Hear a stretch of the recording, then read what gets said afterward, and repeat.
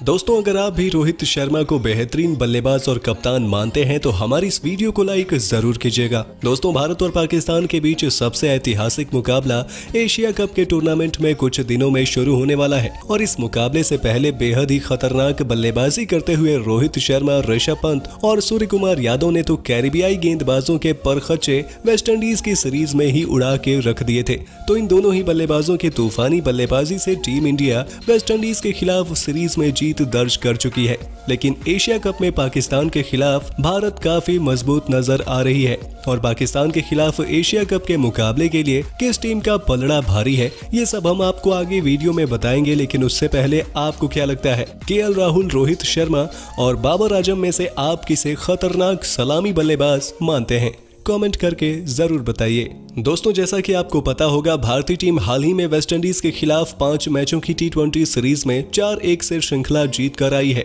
लेकिन इसके बाद अब भारतीय टीम की पूरी की पूरी निगाह एशिया कप के लिए रहेगी। जहाँ एशिया कप में भारत जीतने की प्रबल दावेदार मानी जा रही है और इसी की तैयारी भारतीय टीम करने में लगी हुई है, जहाँ भारतीय टीम से पहले पाकिस्तान की टीम ने अपने खिलाड़ियों की घोषणा कर दी। तो डेडलाइन के अंतिम दिन भारत ने भी अपनी घोषणा कर दी है, जिसमें भारत ने बहुत ही बड़े बदलाव कर दिए हैं। तो वहीं भारत और पाकिस्तान के बीच क्रिकेट का सबसे बड़ा महामुकाबला होने वाला है, जिसको देखने के लिए पूरी दुनिया बेताब रहती है। तो आइए जानते हैं किस टीम का पलड़ा आंकड़ों के अनुसार भारी है। दरअसल भारत और पाकिस्तान के बीच एशिया कप में कुल तेरह मुकाबले खेले गए हैं, जिसमें भारत की टीम ने आठ में जीत दर्ज करी है। तो पाकिस्तान की टीम के हाथों पाँच में हार का सामना भी करना पड़ा है, और ऐसे में भारतीय टीम का पलड़ा भारी है। तो वहीं ओवरऑल टी क्रिकेट की बात करें तो भारत और पाकिस्तान में कुल नौ मुकाबले खेले गए हैं, जिसमें सात में भारत ने जीत दर्ज करी तो वहीं दो मुकाबलों में पाकिस्तान ने भी जीत दर्ज करी है। तो वहीं भारत और पाकिस्तान के बेहतरीन खिलाड़ियों की बात करें तो आमने सामने सबसे ज़्यादा रन बनाने के मामले में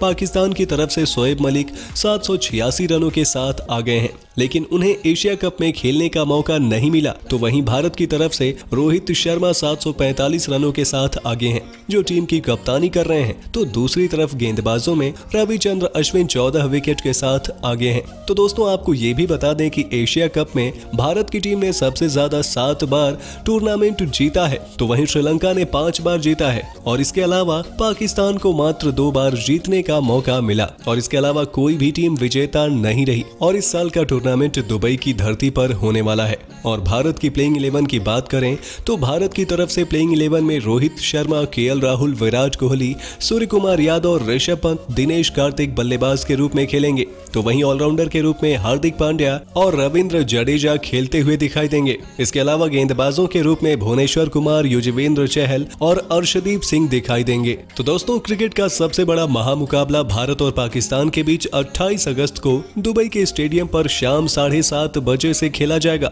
जिसका लाइव प्रसारण आप ऑनलाइन स्ट्रीमिंग में हॉटस्टार पर देख सकते हैं। तो वहीं टीवी पर स्टार स्पोर्ट्स पर इसका लुत्फ उठा सकते हैं। तो दोस्तों, आपको क्या लगता है, पाकिस्तान के खिलाफ भारतीय टीम एशिया कप में जीत दर्ज कर पाएगी या नहीं? अपनी राय कमेंट करके ज़रूर बताइए। और ऐसे ही शानदार खबरों के लिए हमारे यूट्यूब चैनल को ज़रूर सब्सक्राइब कर लें।